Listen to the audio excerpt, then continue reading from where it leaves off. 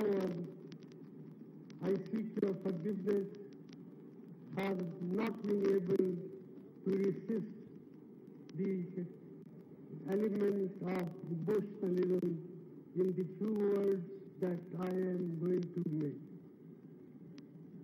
स्वागत करने की परंपरा का निर्वाह कर रहा हूँ डॉक्टर मनमोहन सिंह जी आप सब उनके बारे में जानते हैं उनके व्यक्तित्व के बारे में जानते हैं और चुनाव प्राधिकरण के अध्यक्ष और सदस्य जिन्होंने बड़ी निष्ठा और लगन के साथ चुनाव के कार्यक्रम को संपन्न किया है, उन सबका मैं स्वागत करता हूँ और उन्हें धन्यवाद भी देता हूँ।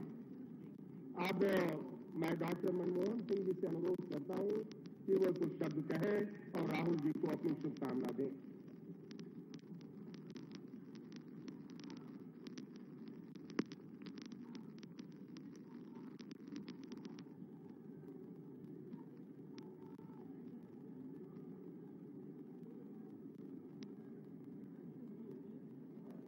Respected Srimati Sonia Gandhi ji, respected Rahul ji, Congress Working Committee members, distinguished ladies and gentlemen. Today, it's a unique day in the history of the Congress Party. You will forgive me if I do not become somewhat emotional on this historic occasion. I recall in a letter that Pandit Jawaharlal Nehru wrote to Indira Ji, advising her that in the affairs of the state one cannot be sentimental though one should be full of sentiment. However, I seek your forgiveness for not being able to resist the element of emotionalism in the few words that I am going to make. Sonia ji has been the leader of the Congress party for 19 years. In these 19 years, I have been associated with Sonia as a member of the Congress Working Committee and 10 years as Prime Minister of our country. During this period, the, the powerful leadership that Sonia ji has provided to the Congress party is something which will be remembered in the annals of history of the Congress party. As Prime Minister for 10 years, I had the unique privilege of the guidance of Srimati Sonia Gandhi and in those 10 years, we took some historic decisions. The growth rate of the country was the all-time high. The average growth rate was 7.8% per annum. 140 million people were lifted from poverty in this period of 10 years the large and in some ways unique social legislation was enacted. Manrega is one of them. Right to information is yet another. And several other social legislations were enacted under the guidance of Srimati Sonia Gandhi. Now, that Sonia is handing over the reins of the Congress President to Rahul ji. We salute Sonia ji for the magnificent leadership that she has provided in these last 90 years. Rahul ji has been trained for a long period. He has been looking after many of the activities of the Congress party for many years and he brings to this office of the Congress President a new sense of dedication, a new sense of commitment, a new sense of looking after the leadership role with courage and humility. Rahulji today is taking over as the president of our party at a time when there are certain disturbing trends noticeable in our politics. And the distinguished academic pointed out a few days ago, there are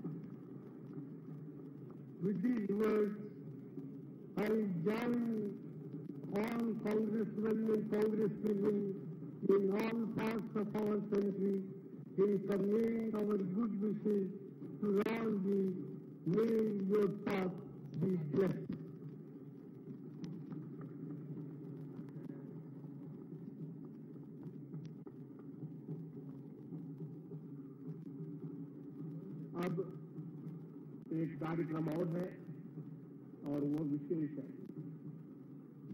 हमने किस रूप में सोनिया जी को आज के दिन याद दिया, याद किया, उसके लिए एक स्मृति चिन्ह पार्टी की तरफ़ से उन्हें दिया जाना है। और मैं डॉक्टर मनमोहन सिंह जी से अनुरोध करता हूँ कि उन्हें पार्टी की ओर से स्मृति चिन्ह भेंट करें। और मोतीलाल वोरा जी से अनुरोध करता हूँ कि वो उन्हें एक ताल भेंट करें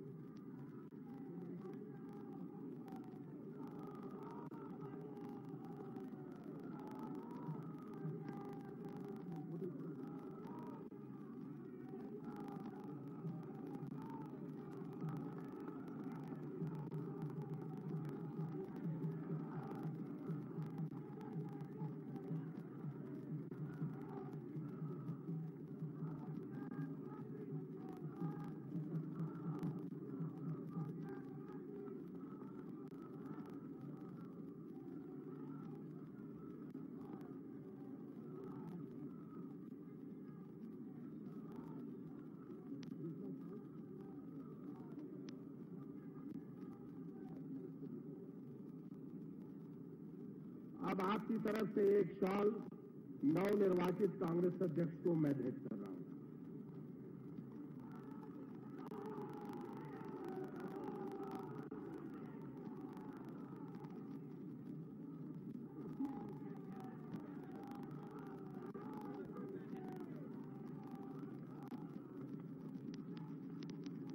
अब मैं सोनिया गांधी जी से अनुरोध करता हूँ वे आए और हम सबसे कुछ शब्द कहें।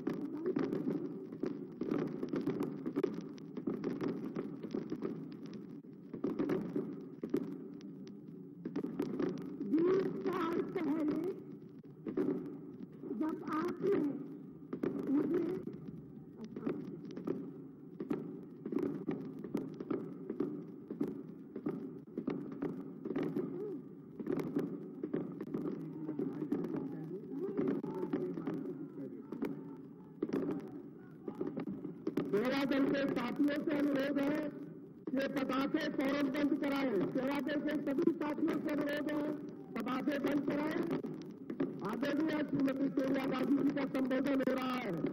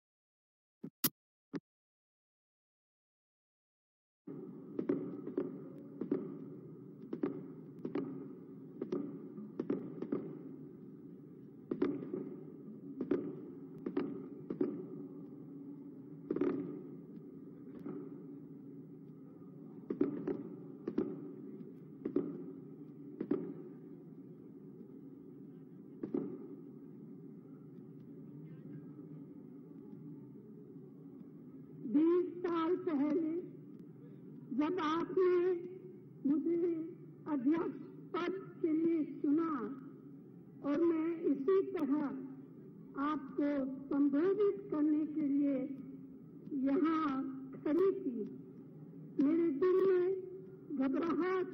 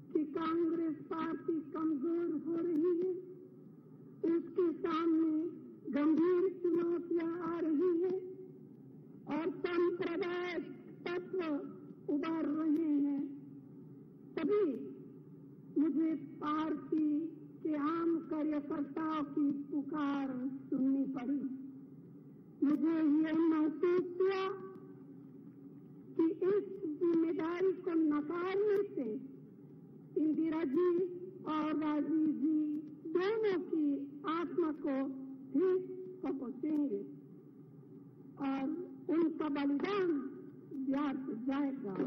इसलिए देश के प्रति अपने कर्तव्य को समझते हुए मैं राजनीति में आए थी उस समय कांग्रेस के पास जहाँ तक मुझे याद है, शायद केवल तीन राज्य सरकारें थी। हम केंद्र सरकार से भी काफ़ी दूर थे। इस चुनौती का सामना किसी एक व्यक्ति का चमत्कार नहीं कर सकता था। आप सबके सहयोग से हमने बेमिसाल कामयाबी हासिल की और एक के बाद एक दो दर्जन से अधिक प्रदेशों में हमारी सरकारें बनी। ऐसे परिणाम मज़बूत इरादे अपने सिद्धांत के प्रति संकल्प और समर्पण से प्राप्त होते हैं। आप सबके साथ मिलकर लाखों कांग्रेस कांग्रेसियों ने समाज के उन सभी वर्गों में जो हमारे सुख दुख के साथ साथी रहे हैं, हमारे प्रति विश्वास किया किया। कांग्रेस पार्टी के लाखों कार्यकर्तागण मेरे प्यारे भाई और बहनों इस जीवन यात्रा में आप मेरे हम सफ़र रहे हैं मार्गदर्शक रहे हैं मैं आप सबको धन्यवाद देती हूँ कि आपने हर मोड़ पर मेरा साथ किया है मैंने आपसे जो कुछ सीखा और समझा उसकी कोई तुलना नहीं हो सकती मेरे अध्यक्षता के शुरुआती सालों में हमने मिलकर पार्टी को एक बद और एकजुट रखने की लड़ाई लड़ी सभी बदलने के बाद हमने शीघ्र ही एक प्रमुख विपक्षी दल की महत्वपूर्ण भूमिका को अपनाया और सात सालों के लिए अपने स्वतंत्रता संघर्ष तथा संविधान के मौलिक मूल्यों की दृढ़ता पूर्वक रक्षा की दो हज़ार चार से अगले दस सालों तक हमारी पार्टी ने अन्य शासित दलों के साथ मिलकर देश की जनता को एक जिम्मेदार और एक प्रगतिशील सरकार दी जिसका नेतृत्व डॉक्टर मनमोहन सिंह जी ने पूरी ईमानदारी और मेहनत के साथ किया। हमने समाज के हर तबके का प्रति प्रतिनिधित्व और विकास किया। हम इस तथ्य पर गर्व करते हैं कि इस दौरान हमने ऐसे कानून बनाए जो जनता के अधिकारों पर आधारित थे जिनके बल पर शिक्षा, स्वास्थ्य, भोजन, रोज़गार, जानकारी आदि के अधिकार का पैदा हम देश के करोड़ों गरीब भाई बहनों को दे पाए। 2014 से एक बार फिर हम विपक्ष की भूमिका निभा रहे हैं। शायद इतनी बुरी, इतनी बड़ी चुनौती जितनी आज है, हमारे सामने कभी नहीं रही। आज हमारे संवैधानिक मूल्य पर हमला किया जा रहा है। इसके साथ साथ हमारी पार्टी कई चुनाव हार चुकी है। लेकिन हमारे कार्यकर्ताओं में बेमिसाल साहस जीवित है। हम डरने वालों में से नहीं हैं। हम झुकने वाले नहीं हैं। हमारा संघर्ष इस देश की रूह के लिए संघर्ष है। हम इसे पीछे कभी नहीं हटेंगे आप सब कांग्रेस के नेता और कार्यकर्ता हैं। उस भावना, उन उसूलों के रखवाले हैं जिन पर ये देश बना है। ये कोई छोटी सी चीज़ नहीं। सत्ता, शहरत और स्वार्थ आपके मकसद नहीं है। देश आपका मकसद है। इस देश के मूल्यों की रखवाली करना आपका मकसद है। यही आपकी मंजिल है। हम सब जानते हैं कि किस तरह हमारे देश के बुनियादी उसूलों पर रोज रोज हमला हो रहा है और अपने आप को व्यक्त करने की आज़ादी को तोड़ा जा रहा है। हमारी मिली जुली संस्कृति पर वार हो रहा है। हर तरफ़ से एक संदेह का माहौल, भय का माहौल रहा है। इस बीच कांग्रेस को भी अपने अंतर्मान में झाँक कर आगे बढ़ना पड़ेगा। अगर हम अपने उसूलों पर। नहीं उतरेंगे तो हम आम जनता आम आदमी के हितों की रक्षा नहीं कर पाएँगे। यह एक नैतिक लड़ाई है। इसमें जीत हासिल करने के लिए हम अपने आप को भी दुरुस्त करना पड़ेगा और किसी भी प्रकार के त्याग और बलिदान के लिए तैयार रहना पड़ेगा।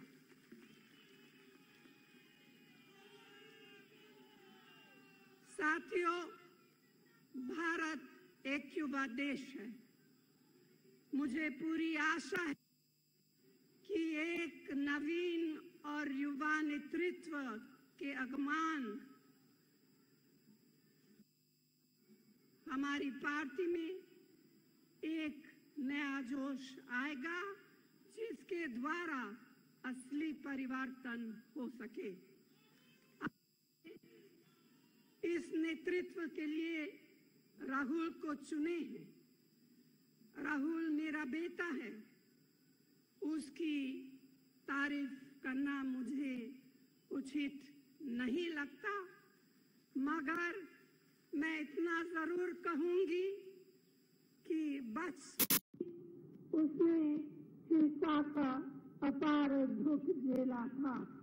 लेकिन राजनीति में आने पर उसने एक ऐसे भयंकर व्यक्तिगत हमले का सामना किया, जिसने उसको और भी निडर और मज़बूत दिल का इंसान बनाया है।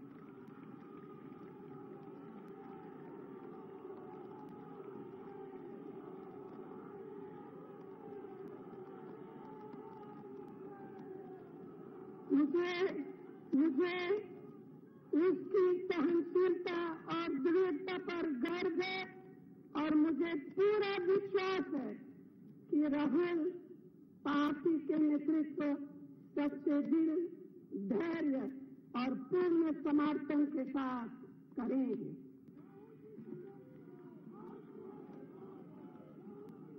जैसे जैसे आप सब नए रास्ते पर आगे बढ़ेंगे।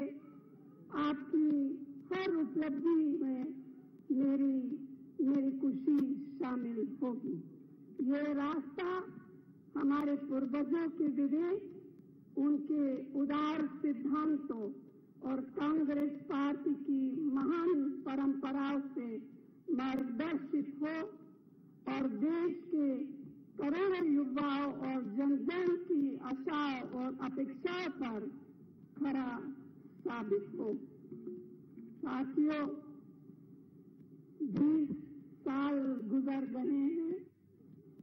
करीब करीब एक जीवन सा बीत गया है। आज इस ज़िम्मेदारी को छोड़ते हुए मैं आप सभी कांग्रेसनों और हमारे देश के नागरिकों द्वार, द्वारा दिए गए असीम प्यार स्नेह और विश्वास के लिए तहे से शुक्रिया अदा करती हूँ। आप सबको दिल से बहुत बहुत धन्यवाद। जय हिंद।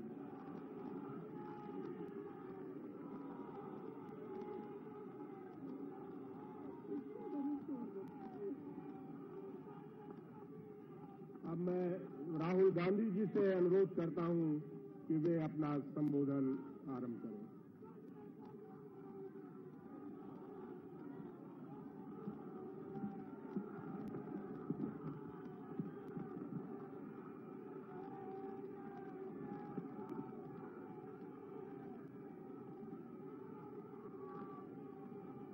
श्रीमती सोनिया गांधी सोनिया गांधी जी डॉक्टर मनमोहन सिंह जी, मोतीलाल वोरा जी, जनार्दन द्विवेदी जी, मुलपल्ली रामचंद्रन जी, मधुसूदन मिस्त्री जी, भुवनेश्वर कालिता जी, कांग्रेस पार्टी के हमारे सब नेता और करोड़ों कार्यकर्ता, आप सबका यहाँ दिल से मैं बहुत बहुत स्वागत करता हूं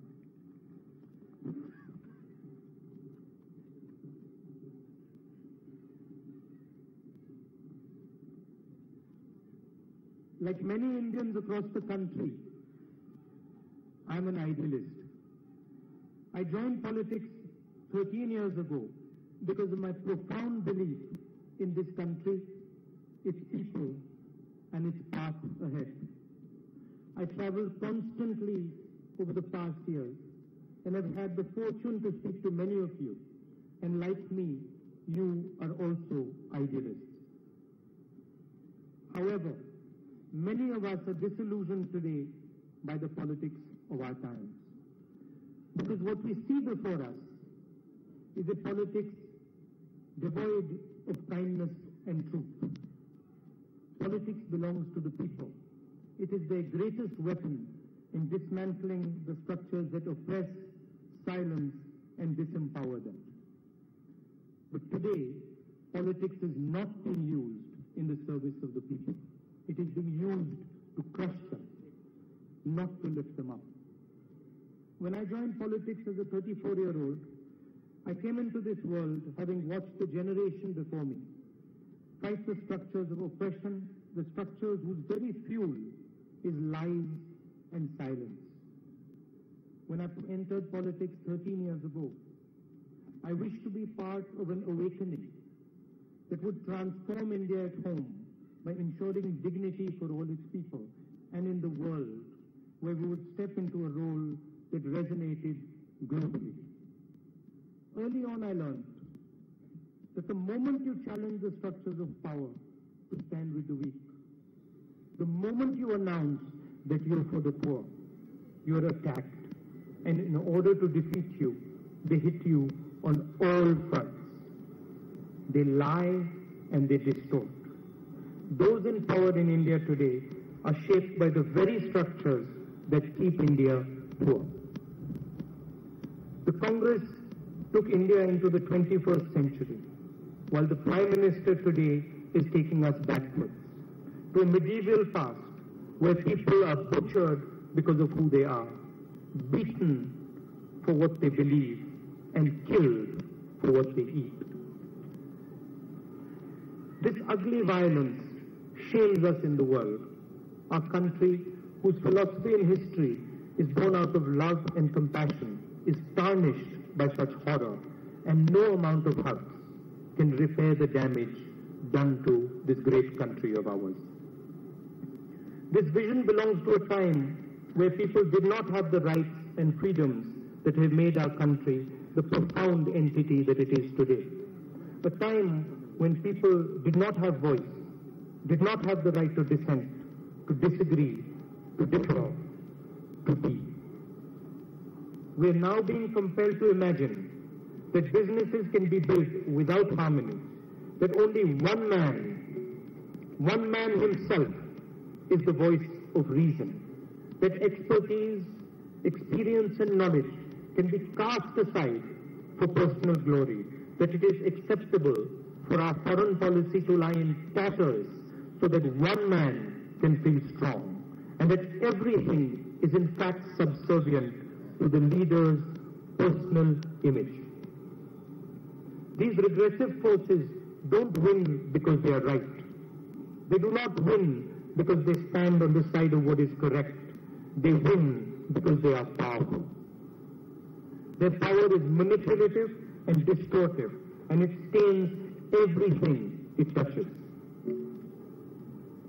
But what I have, what I have realized over the last few years is that they attack the Congress and they try to weaken us. But they can only defeat us if we back down, stand up to them, and their anger and their hatred makes all of you and us stronger. We in the Congress will never back down and away from our promise to the country and our beloved people. Our commitment to India's past, its present and its future will stand today and evermore. And our commitment is this. We will defend the voice of every single Indian. We will never allow, we will never ever allow the democratic dreams and longings of our people, not one of them, to be silenced. In this, I and all congressmen and women, those who stand before us today and those who will rise in the times to come, will always stand strong. I want the Congress Party to become an instrument for dialogue between Indian people, all of us, from all corners of our great country, all religions, all ethnicities, all ages, genders, and people, and for our dialogue to always be led by love and affection. थोड़ा सा अब मैं हिंदी में बोलना चाहता हूं देखिए आपके सामने उदाहरण है एक बार आग लग जाती है तो उसे बुझाना बहुत मुश्किल होता है। यही हम यही हम बीजेपी के लोगों को समझाने की कोशिश कर रहे हैं। एक बार आपने देश में आग लगा दी, उसको बुझाना बहुत मुश्किल होता है।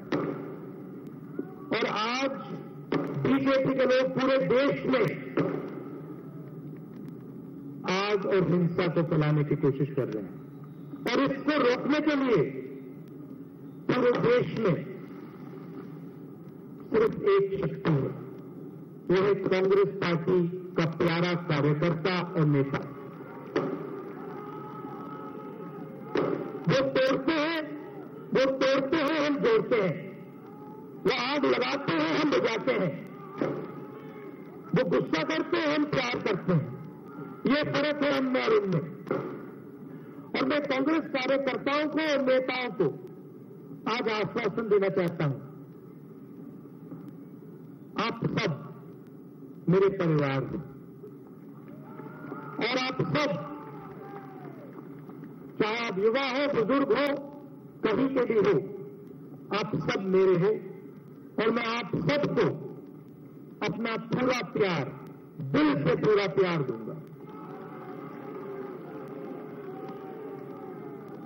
देश के युवाओं से मैं कहना चाहता हूँ देश के युवाओं से कहना चाहता हूँ कि ये दुनिया, ये हिंदुस्तान की, जैसे द्विवेदी जी ने कहा ग्रैंड ओल्ड पार्टी है। मगर आने वाले आने वाले समय में हम इसे हिंदुस्तान की grand old and young party बनाने जा रहे हैं। और मैं आपको सब युवाओं को चाहे आप कोई भी हो। मैं आपको एक इनविटेशन देता हूँ। आप आइए। एक प्यार का भाईचारा का हिंदुस्तान हम एक साथ बनाएँगे। क्रोध की गुस्से की राजनीति से हम लड़ेंगे और उनको हराएँगे।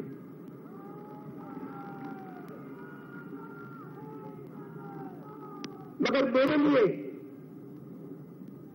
कांग्रेस पार्टी का जो कार्यकर्ता जो पार्टी की विचारधारा को अपने खून पसीने से देश के हर गाँव, हर शहर में पहुंचाता है, उसकी रक्षा करना, संगठन में उसकी रक्षा करना मेरी ज़िम्मेदारी है। और मैं आपको आश्वासन देना चाहता हूँ कि आने वाली कांग्रेस पार्टी में आपकी आवाज़ पूरे हिंदुस्तान में सुनाई देगी और उसको हम सुनेंगे।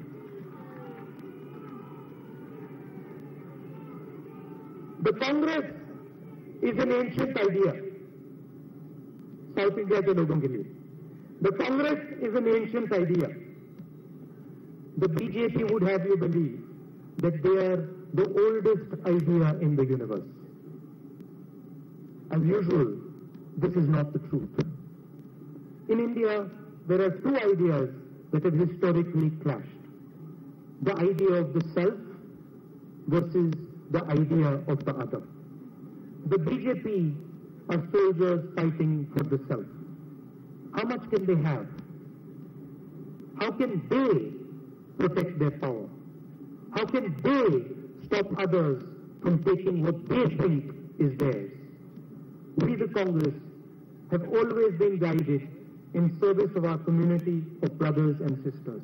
We fight for everyone and for all those in the periphery, all those relegated to the fringes.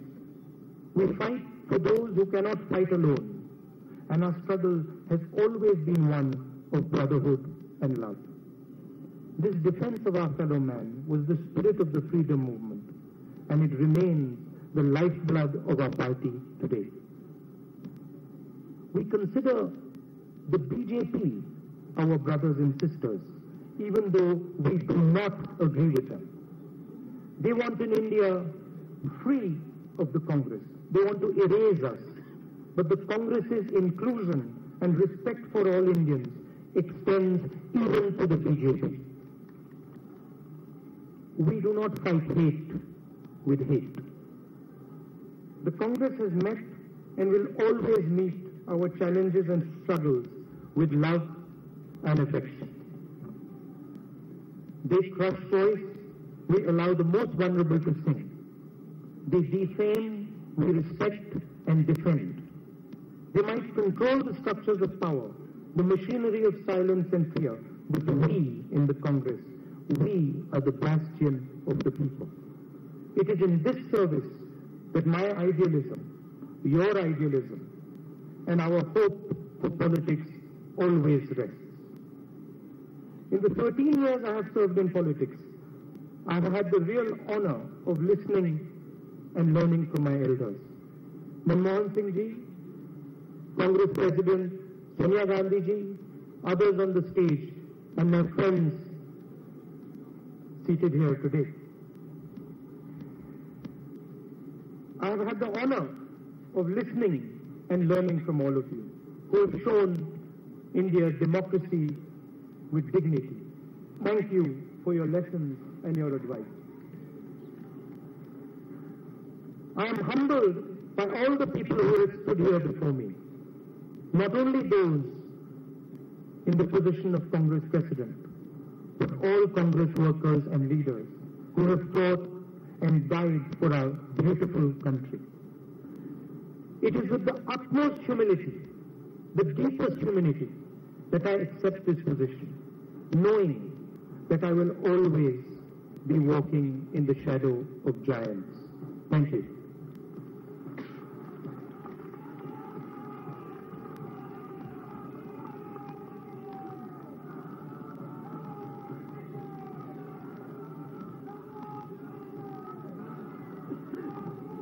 साथियों, कार्यक्रम लगभग समाप्त है।